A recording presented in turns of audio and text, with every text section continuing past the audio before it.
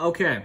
Yeah, I'm gonna need this today. I'm sorry. Like, look, bro, this is what this year has been kind of crazy with the shows and the and the and the and the movies too, bro. I'm not even lying. Sonic's actually on a on an all time high. Didn't um didn't Sonic the Hedgehog 2 come out this year? That movie? That movie came out this year. Sonic Frontiers, from what I've been hearing, has been pretty pretty enjoyable for the most part. I mean, you know, got its little things here and there, but for the most part, it's a really good game. And then you got this coming in December.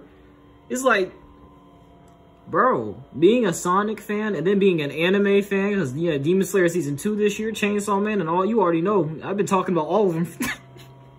and being a video game head, yeah, Elden Ring this year and God of War Ragnarok. Bro, 2022 really wasn't that bad. I'm not even lying to you, bro. 2022 was actually a pretty fire year, and now I'm getting this and JoJo in December. I'm getting this and JoJo in December, bro. Are you serious? What a fucking time to be alive. God damn.